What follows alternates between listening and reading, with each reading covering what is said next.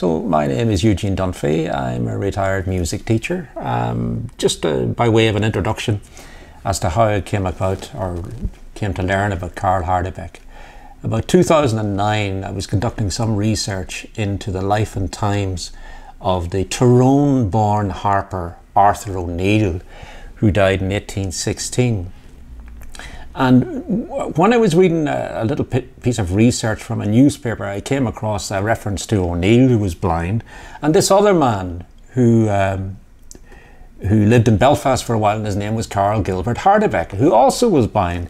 So this sent me on a, a, partic- particular trajectory, I suppose, because both were uh, almost fanatical about Irish music and about getting the, the, the beauty of the music um, the story of the beauty of the music related to other people, not only in Ireland but throughout the world. now, when it comes to Hardebeck, the talk I'll be giving won't really make much sense unless I say something about Braille. Now, Braille is a way of writing and reading, as you probably know, invented by Louis Braille a few hundred years ago, Frenchman. So I'll show you basically how Hardebeck notated songs when he went to the Gaeltacht, when he would go to Rann na Feirste, Gweedore, when he would go down to An Rinn. So this is a mock-up copy of, uh, of how he would have done it. First of all, you needed a few things. You needed a braille board to support, uh, to act as a writing frame really, with a clip on it, a piece of paper, which would clip on to the board like so, and you also needed two very important constituent parts as well. The first being, this is only a mock-up made out of cardboard, but in Hardebeck's day this would have been made out of metal, mostly metal. This is called a braille frame, also known as a braille slate. You can see a series of rectangular holes punched in that. Each hole is known as a braille cell. And when you're writing in each cell, uh, whether it be a word or a letter, you pierce a series of holes, one to six. Six is the maximum, one is the minimum for each cell. And depending on what point to um, that would represent a letter, also it would represent a word. So for example, uh, if, if I use this little stylus and press through one of the braille cells to the top right hand corner of a braille cell, when you read that back with your fingertips, that would represent the letter A, only the letter A. It also would represent a contraction, but that's too difficult to get into at the moment. It's also too convoluted. So we'll just stick to letters for the moment. So here we have the braille frame, which would be then, you would lift your piece of paper, the braille frame would be slid the top of the, the paper and the braille board using a stylus, and again I don't have a stylus. Now what's a stylus? It's basically a pen rather than a nib, you have a point in it. In this case I have a pin, this is my stylus. So you would use the stylus and you would, for example, I'm just going into the top right hand corner here. That's the letter A. I'd move on, and if I want to get the letter B, etc., etc., etc., all the, the various per permutations. Now, say I com completed a sentence. I would remove the frame. I would remove the sheet from the braille board. I then would have to turn over the page because I've just written there from right to left, you probably noticed. But in order to write what I've written, I would run my fingers along and I came across, I can feel now one permutation on the page which represents the letter A. Then there's a slight space, then there's two permutations, that's the letter B, etc., etc. So that's how you would read read, read and write Braille. I hope that makes sense. So in the mid 1860s, a jeweler from the Osnabrück district of Germany, whose name was Karl Joseph Hardebeck, moved to England and set up a jewellery business in a place called Clerkenwell in London. A short time later, he married a girl from Devon whose name was Catherine Jones. And the couple soon set up home in Middleton Place in Clerkenwell. It was there at Middleton Place that their son, Carl Gilbert Hardebeck, was born on the 10th of December 1869. Now, Carl Gilbert was rendered totally blind when he was just a child of three months old as a result of, and I quote, an inflammation of the eyes caused by getting cold. Now, when a young boy, he showed a particular flair for playing the piano. And he was born with that rare gift of being pitch perfect. Now, what that means essentially is this. Say you were to sing him a series of notes. Well, he, without consulting a piano or any other musical instrument, could correctly identify those notes for you, which is a, a rare ability and uh, one that I'm highly envious of. Okay, so in January 1880, uh, his parents enrolled young Carl at the Royal Normal College for the Blind in Upper Norwood in London. He graduated from the college in 1892 with a sheaf of diplomas in music and was skilled in reading and writing Braille. Now there's a, one system for reading, or sorry, writing and reading text in Braille, and there's another system for writing and reading uh, music in Braille. Well, he was very skilled at, both disciplines, apparently.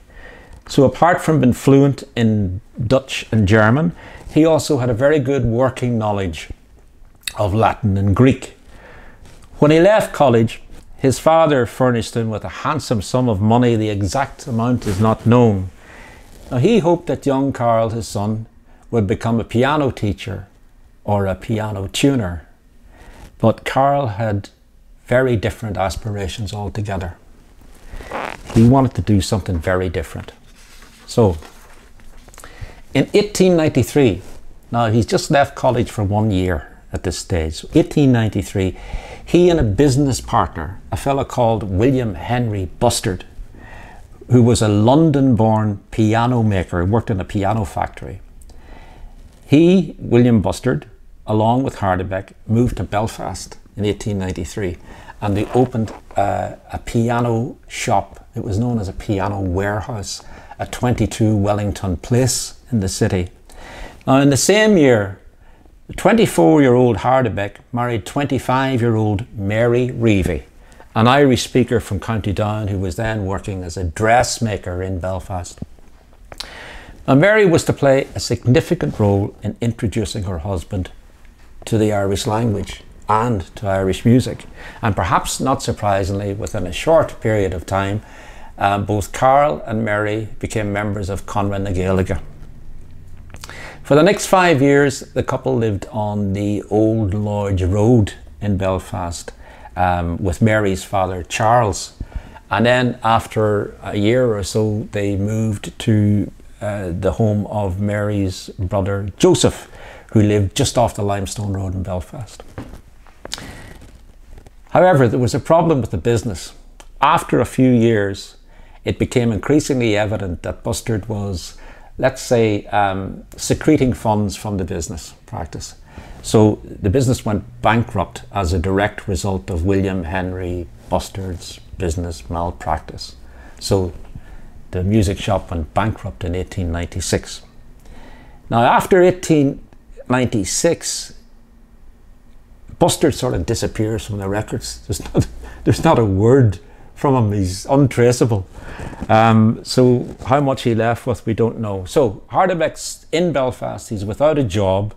Music business has failed. But in 1897, he gets a new job as resident organist at the Holy Family Chapel on the Limestone Road.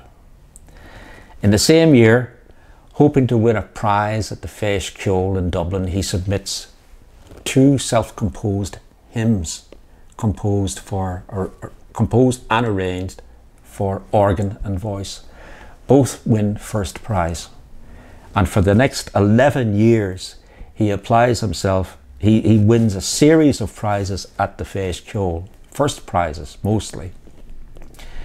But over that amount of time, as a result, I, I would say as a direct result of uh, Mary's influence, he applies himself to an in depth study of the language, the music, the poetry, and the history of Ireland over the next 11 years. Now, St. Patrick's Day 1900 was a seminal day in his life. He had something of a life changing uh, experience in that day. That was the day he attended uh, a St. Patrick's Day concert organised by the Gaelic League at the Ulster Hall in Belfast. Introduced onto the stage was a traditional singer by the name of Marcin O'Conlon. I think he may have been a monster band. but Marcin sang a series of Irish language songs. Hardebeck was absolutely smitten from that day onwards by the sounds, the rhythms, the melodies. He later said, This language sounds so beautiful, it surely must be spoken by the angels of heaven. Soon after, he packed his braille board, frame, paper, and stylus into a case and travelled with his wife Mary to the Donegal Gaeltacht, where he said, I collected all the songs I could, I gathered them eagerly, and I studied them minutely. According to his friend Sean O'Boyle, the arrival of a tall, bald man wearing a pair of dark glasses caused a certain level of curiosity, let's say, in the Gaeltacht. He soon became known around Gweedore and Ranna as the Fear Mór Dall, the big blind man. Sean O'Boyle, I'll just uh, relate a little quote from O'Boyle, who remembered Hardebeck came among them looking for songs, when Irish speakers were looked upon as the odd survivors of an ancient barbarism. He would come in on the arm of his guide, stooping low through the door with a Gaelic salutation from O'Grady on his lips, and permit himself to be led slowly across to the chimney corner. There he would take out his braille board, frame, and stylus, and ask the singer of the house to oblige him with a song. The imagery of that for me, it does something to my soul. Uh, there we have this blind man who's besotted by what he's just heard in the, the Ulster Hall in Belfast. Now he's going to Donegal and he's surrounded by the Irish language in the various houses that he goes to. There are people singing to him in Irish. Now, West Belfast man Sean Neeson and his Cork born fiancée, a girl called Geraldine O'Sullivan, both musicians, observed Hardebeck's structured attention to detail when notating his songs in Braille. Geraldine said that he notated them as fast as the musicians performed them. It was fascinating to watch him do this, she said, those tobacco stained fingers moving so neatly across the page, and very rarely was there any need for correction. Note values, ornaments, and variations were all caught with complete accuracy. Okay, so what, what particularly attracted him this blind man to traditional music. Well, the melodies that accompanied the song words were often modal. Right, we can get into a whole sort of treatise as to what modalities are. But put simply, I suppose, a lot of traditional melodies have a lot in common with Gregorian chant, in that they feature these, I suppose, musicians, classically trained musicians who are not particularly au fait with traditional music, would describe them as rogue notes. In other words, they're slightly jarring, but they're modal notes. Now, in the English language, I suppose, an example of this, now forgive me, I feel as if I'm going to break into song, but an example of this would be um, Slieve Gallion Brae. As I went a walking one morning in May, to view the fair valleys and mountains so gay. I was thinking, that note there on the word thinking, that's one of those rogue notes. That's a modal note. You very rarely, once in every eclipse, would you get that in classical music. Another example would be where lagging streams flow gently along. Bang on the money with another rogue modal note there. Now, some musicians believe that they had a place in traditional music. We'll grant you that. But maybe it's maybe it's antiquated. Maybe there's no room for it. But to Hardebeck's pitch perfect ears, these modal notes were what attracted him to traditional music. They were beautiful, you know, and he wanted to make sure he was he was asking himself, why aren't these published? So he asked around. Obviously, these songs are published in various collections. Inevitably, he was told, not really, maybe one or two books. So he decided to do something about that. But first, he encountered another problem. He soon found that the Braille system that he had learned in London at the Royal Normal College, that was all fine and well for the English language, but it was not at all suited to the Irish language. Now, he overcame this problem because he was left undaunted by most things. He overcame this problem by rejigging and reconfiguring the Braille system that he had learned in London. And he came up with his own. He came up with the system to write the Irish language in Braille. But for example, you know, he would put in the likes of to connote a fada, for example, uh, the fada A, he would use um, the top two dots, one of the middle dots, and the two dots at the bottom. And he would also have symbols to connote a bulcha in, uh, above, above, for example, a, a, letter B, letter F, G, etc., etc. So, I'd like to come back to that uh, the Braille system that he invented uh, a little while later. Uh, Hardebeck's Braille system is still in use today, but it's undergone quite a, a dramatic transformation. But having said that, it's, it's, it, it, it is still, still in use. In September 1900, Carl and Mary Hardebeck got a house next door to the Holy Family Chapel, which was handy enough because that's where Hardebeck was working in the Limestone Road in the Holy Family Chapel. From his house, he taught piano, singing, and set about arranging for piano some of the songs he had collected in the Gaeltacht. Three of his young Belfast pupils, Sean Neeson, Sean O'Boyle and Seamus O'Doherty were later to become ambassadors for his music, Neeson and O'Boyle in Ireland and Seamus O'Doherty in New York. O'Doherty did a lot to promote his music in New York. 1902 then. So in 1902, Hardebeck befriended Pádraig Pearse. Now we know that Pearse visited Hardebeck's Limestone Road home on at least one occasion. Now Pearse asked the Fear Mór Dall to arrange six Gaelic songs for him. Now, they were published by the Gaelic League in Dublin between 1902 and 1903 under the generic title Ceatha Ceoil, which is Showers of Music. So in 1904, Hardebeck took up a new appointment as organist at St Peter's Pro Cathedral in West Belfast, a position he was to hold until 1919. By that time, his knowledge of the Irish language was so good he was appointed teacher of traditional singing at Craobh Rua, the headquarters of Conradh na Gaeilge, which was based on in Murray's Terrace in central Belfast.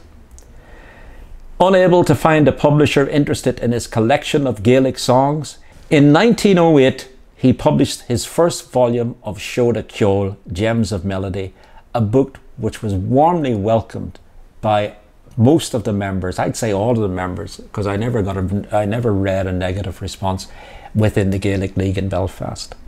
1911 11 saw the publication of Seoda Ceoil Ado, and then uh, in 1915 we had Seoda Ceoil 3. So, in acknowledgement of his achievements, Conradh na Gaeilge made him president of their newly established traditional song society called Cumann Ceol. So, what exactly did Hardebeck think about the Irish language? Well, I suppose it's best summed up by this quote. During the course of one of his lectures in Belfast, he said, I am not an Irishman, but I would like to say a few words about the importance of the language to the country. So long as we use a language spoken by another people, we are only a nation of imitators. So it's a case of get off the fence, why don't you? So around about 1911, he held a series of traditional singing classes at Ard Scoil Ultach in West Belfast, where one of his pupils was Nora Connolly, daughter of James. But in the winter of 1913, Hardebeck's wife fell seriously ill. Mary died in January 1914 and was buried at Milltown Cemetery, Belfast. Her husband, if truth be told, was absolutely heartbroken by her passing. A short time later, he received a letter of condolence from uh, Pearse. Now, a few years ago, just by way of an aside to that story, um, I knew that she was buried in Milltown Cemetery. My, myself and my wife decided to do a little bit of searching. So we went over to Milltown, and uh, after a lot of uh, searching around, we finally uncovered her grave. There was a Celtic cross originally, obviously, that stood on the pedestal, but it had cracked, probably weathered, and it had fallen into the grave. And the entire plot was covered in a thick blanket of ivy. So we were delighted to uh, to uh, to uncover that, and it was it was quite an emotional time actually. But anyway, but Hardebeck, being a blind man, he needed a guide, he needed a companion, and also um, he was a likable man. So in June June 1915, he married again. His new wife being Mary Raphael McKenna, a 39 year old school teacher from West Belfast. Now, it's okay talking about the, his high and mighty uh, works and work for Braille and travelling to the Gaeltacht and doing all these wonderful, um, virtuous things. But those who knew Hardebeck remembered him as someone who enjoyed the odd drink and the odd smoke. As someone blessed with an impish sense of humour, as someone not easily impressed with ecclesiastical pomp and ceremony. He didn't have much time for it, basically. Here's an example. In May 1918, just after he heard about the execution of Pearse, he was playing the organ up in the gallery there at St. Peter's, and uh, by way of a recessional hymn, he played Amhrán na bhFiann at full blast, which must have uh, raised a few eyebrows. But anyway, he expressed a strange trinity of beliefs to Sean O'Boyle and I quote Dúirt I believe in God, I believe in Beethoven, and I believe in Pádraig Pearse. That would stick with him for the rest of his days. He never denied it. He was very proud of making that statement. So in uh, 1904, uh, Carl Hardebeck was seconded from the Holy Family Chapel, where he was organist, Holy Family on the Limestone Road in Belfast. Seconded from there to the church behind us, St. Peter's, in 1904. Now, he fulfilled two roles while he, while he was here. The first being resident organist, and the second uh, role was as campanologist or bell ringer. Now, there's a great story of him walking from the limestone road. He, he preferred walking rather than taking a car or a cart.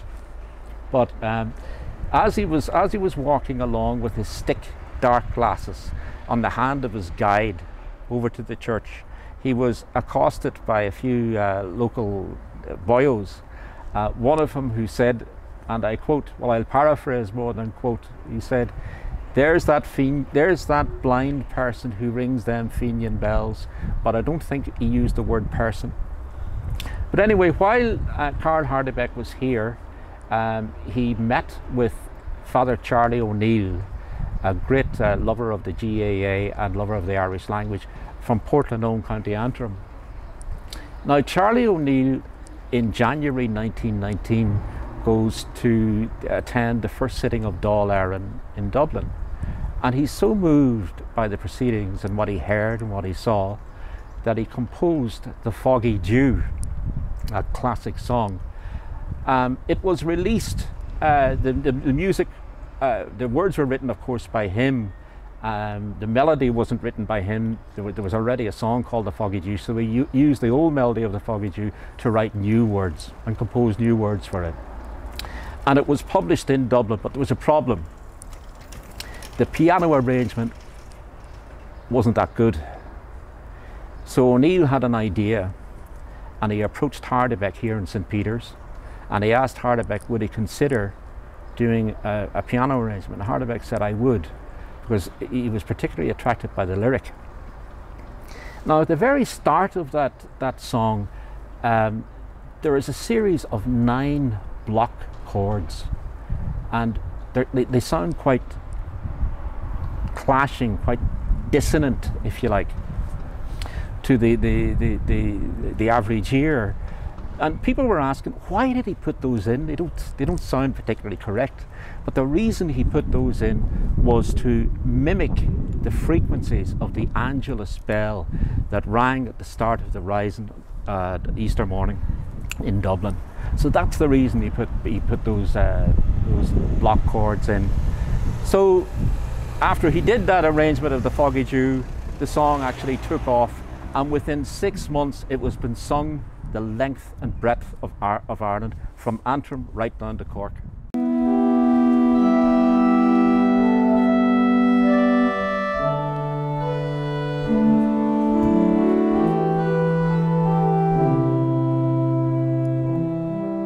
So the month is May, the year is 1916. Hardebeck is sitting at the organ on Sunday Mass, which is Low Sunday, May 1916. He's just heard within the last few days that Pearse has been executed in Dublin. So what does he do? He waits for the end of the Mass. The priest gives his final solemn blessing, and Hardebeck then plays as a recessional hymn, Amhrán na bhFiann, at full volume you know, it is amazing for me being here because after a few years doing research into Hardebeck's life, you sort of feel as if you know the fella. Um, the organ that we're standing beside here, the significance of that culturally is absolutely immense, and I can sort of feel the man's spirit here as we speak. Um, looking down at the at the, the church and the palatial ceiling. Um, it must have been spectacular, a spectacular sound that the people heard when that man played the organ because apparently his artistry at the instrument and piano was exceptional. Anyone who knew him pointed that out.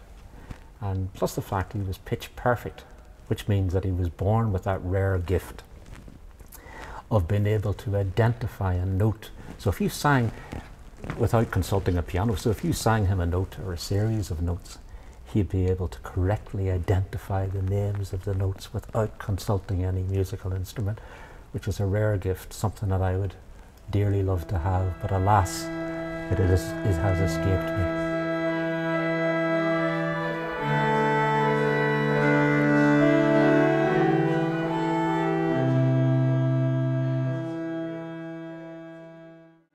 We'll go back a, few years in time. So we're, we're now on the 1919. Well, a few years prior to that, 1915, Hardebeck got a visit from a man in Cork, a priest in Cork whose name was Father Christy O'Flynn.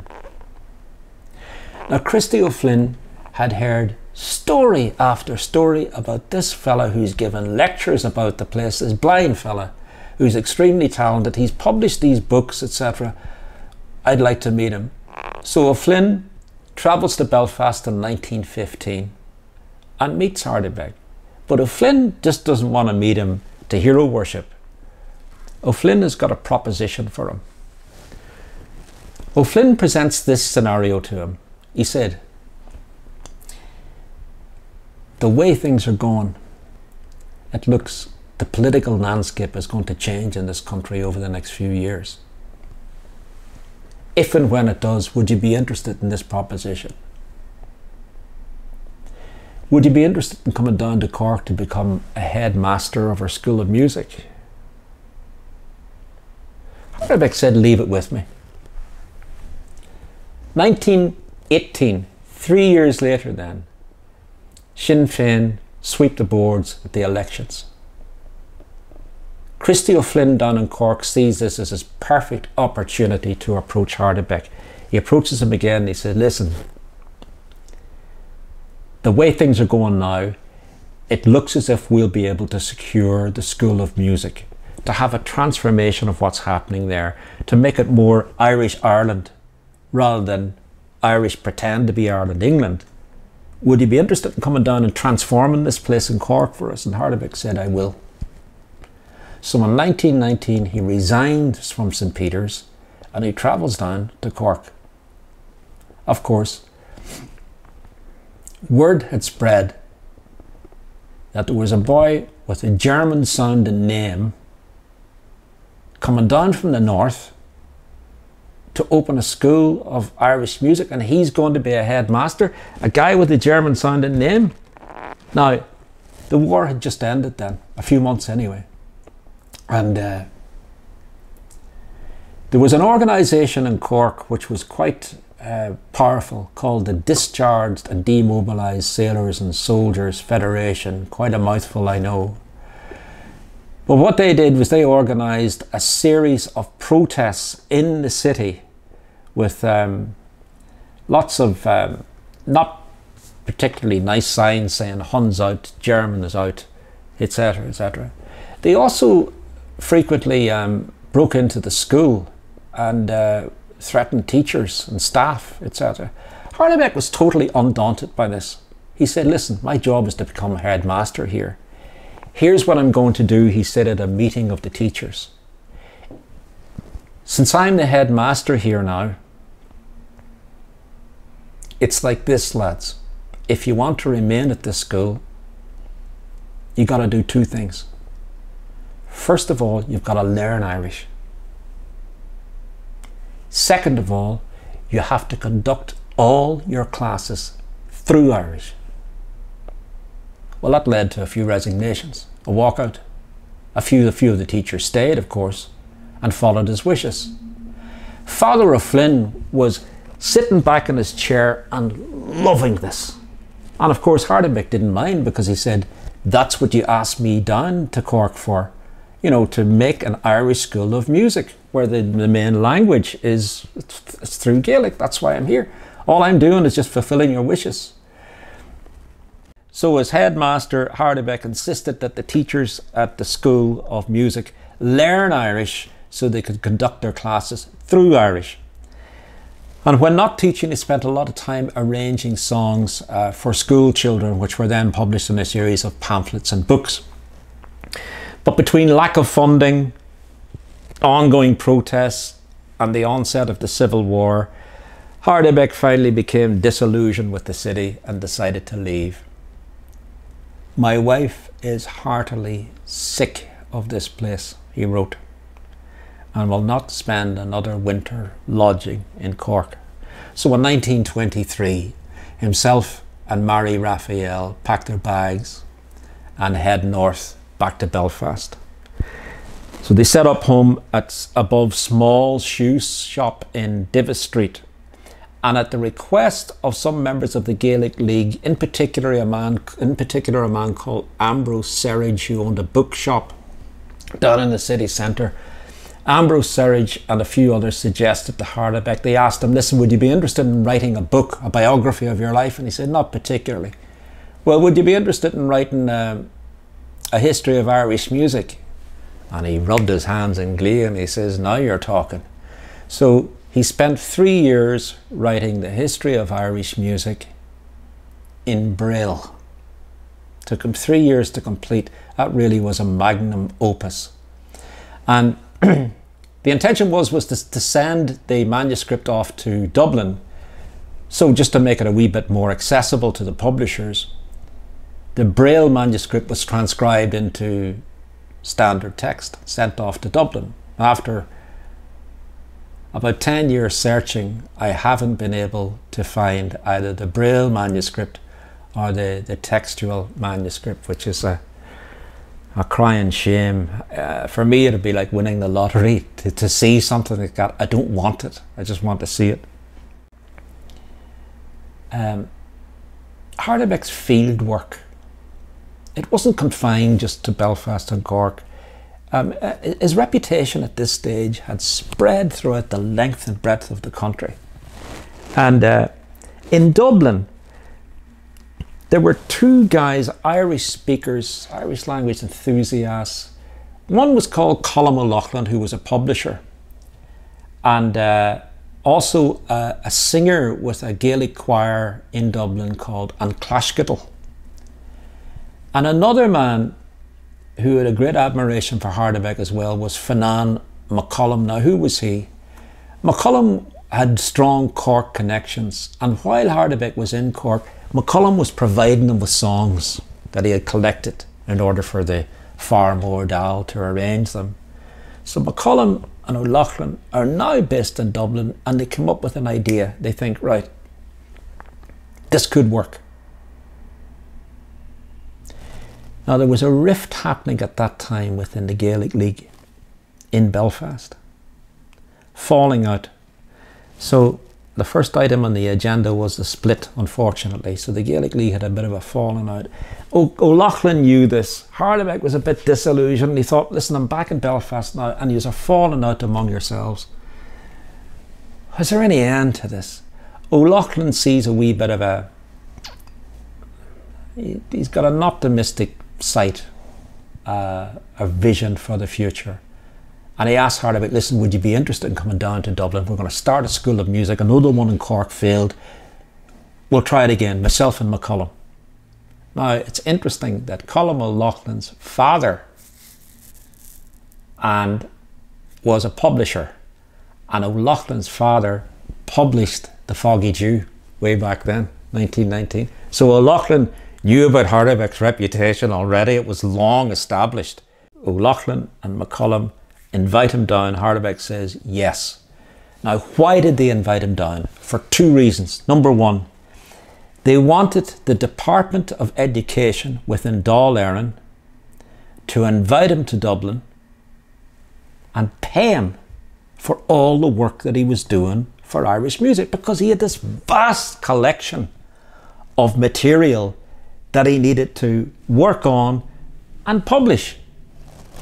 The second reason they wanted him down was O'Loughlin and McCollum uh, thought, well, okay, if he starts this work and gets paid for it, it's only a matter of time before the Department of Education within Dáil appoint him as a principal of a new national school of Irish music in Dublin, a new national school, none of this sort of localized thing, new national school of Irish music in Dublin. So that's how they respected him, and that's how they thought that his, he should be thanked for his work that he had given to the country. So in the summer of 1931, Hardebeck leaves Belfast, goes to Dublin, and he gives a, a series of lectures. January 1932, just a few months later, he gets a job as a part time teacher of Gaelic song at the Dublin Municipal School of Music. Now, it only lasts for about a year. And the optimistic and Claisceadal hoped, well, since he's given that series of lectures, this is going to encourage now um, the Dáil to actually open this school of music with him at it, Hardebeck as its head head man. But in the ensuing months and years, and much to the disappointment of Claisceadal, of O'Loughlin, of McCollum, it became increasingly obvious that Roinn an Oideachais, the Department of Education within Dáil had absolutely no intention, A, of paying him, and B, opening a national school of music, and C, forget about a headmaster because we're not going to have a school of music. And also, you know, this thing about Gaelic song, a lot of them were thinking this at the time. Actually, we're, we, well, it's not that we're a slight bit more we're more interested in the Anglo-Irish music of Thomas Moore. He's world renowned. So we would like to sort of, if we're going to have to expand energy, we'd rather expand it on promoting the music of Thomas Moore rather than this Gaelic song stuff. Sure, that's all passe now. Which is just unfortunate. But anyway, and Claisceadal, members of Claisceadal realised Dáil Éireann are not paying them. They're not interested in opening a school of music. They're not interested in publishing Gaelic songs. But the problem was, how is Hardebeck going to survive? So when Claisceadal organised a few a series of concerts around Dublin, and that enabled the Fear Mór Dall to pay his gas bills, his food bills, you know, and get a and his rent and a, an odd cigarette and a well he smoked a pipe and an odd wee whiskey. But anyway, the last day of February 1933, his second wife, Mary Raphael, died at Our Lady's Hospital in Dublin. It looks as if natural causes. I think it may have been something bronchial related. So with her husband Unable to afford a headstone for her grave, she was laid to rest in an unmarked grave in Milltown, Belfast. And again, uh, not wanting to be without a companion and a guide, one year later, Hardebeck married again, his third wife being Mary Elizabeth Handybode from the north side of Dublin. And by this time, of course, uh, forget about Dáil Éireann that idea of the School of Music, just forget about that notion. But in Dublin at that time, there was a blind man called J.P. Neary. And who was he? Well, he was an Irish language speaker, and he also was the head of uh, an organisation which was based in Great George's Street, Dublin, called the Irish Association for the Blind. J.P. Neary and Hardebeck were kindred spirits. They, they were of the same mindset and they sang of the same hymn sheet in Braille, albeit. So the two of them put their heads together and they asked themselves, listen, how about we do this? Um, it's just an, just an idea. We have all these books, we're flooded with these Braille books in Ireland at the moment for the blind. But, you know, who wants to read about Shakespeare? Shakespeare's all fine and well, but wouldn't it be great to get to transcribe Irish novelists, Irish dictionaries, the works of O'Grady, for example, into Braille. Hardebeck said, I think that'd be a brilliant idea. And Neary says, Are you sure? And Hardebeck says, Yes. Neary says, Well, the reason I asked you is because I thought you would agree because we're going to use your Gaelic Braille system. Hardebeck says all fine and well with me. So using the print presses in, in the Irish Association for the Blind offices in Great George's Street, Dublin, the printing presses were working night and day, chugging out these large volumes of O'Grony's dictionaries in Braille, of An tOileánach by O'Cannon, of all these Irish language works in Braille so the, the, the, blind Irish speakers or those who are learning Irish could read all these wonderful works so they had the language at their fingertips, so to speak. So in the early 1940s, Hardebeck continued to arrange more Gaelic songs for the Dolls publishing wing called An Gúm. But he wasn't getting any payment for it. But it didn't detract him because those who knew him said he wasn't in it for the money. He never was in it for the money. If he wanted, if he was in it, if he was in something like this for the money, if he was in anything for the money, if he was attracted by it, he would have stayed uh, taken the inheritance that he got from his father, stayed in London, or even opened a business in Belfast. If it collapsed, all fine and well, but just sit back, take early retirement, enjoy the fruits of a, a, a very lucrative inheritance. But at this stage in his life, in the 1940s, he was absolutely broke because the expenditure that went into this this printing and, and uh, the publishing, self-publishing, and all that's that's where his money went essentially, you know, just to get the promote the language, promote the music. Now there was a, a group of um,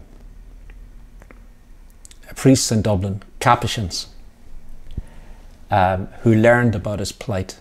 So in 1944, they organised a series of concerts. They also contacted their um, friends in New York, and a few concerts were held.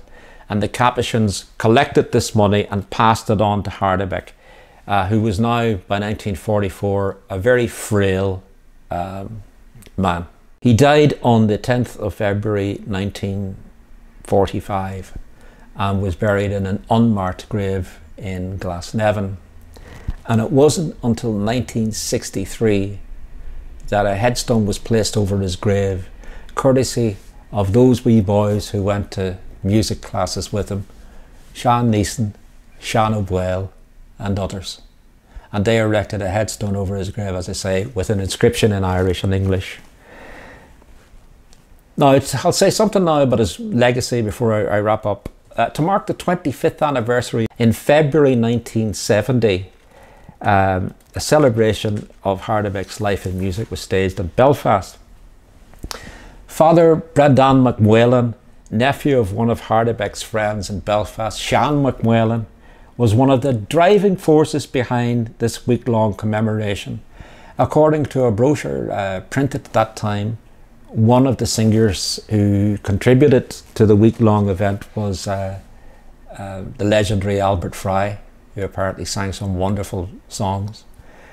Now, over 40 years later, I had the privilege of meeting Father Brendan and his brother, Father Kevin McMillan, both of whom very kindly uh, gave me their entire library of Hardebeck's music and a few other things besides books, etc., which is absolutely amazing.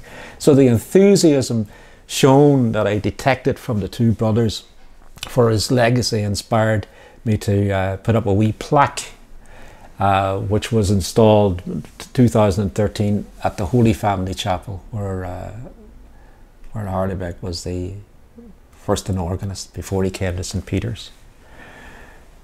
Now, based on my research to date, I reckon that there's between that he published between 330 to 340 pieces of music.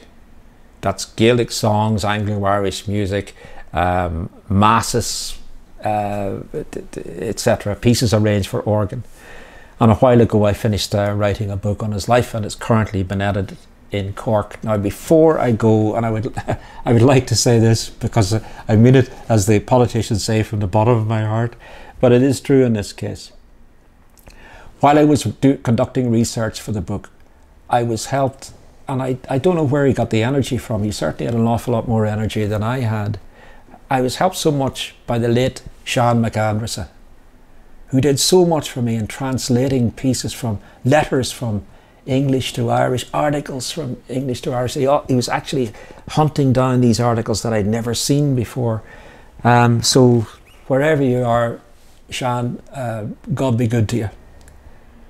So that's about all, and I hope you enjoyed this this talk and I didn't bore you and I'm as bad as my father. I've only 40 verses and I won't detain you long, but that's all for me. Thank you.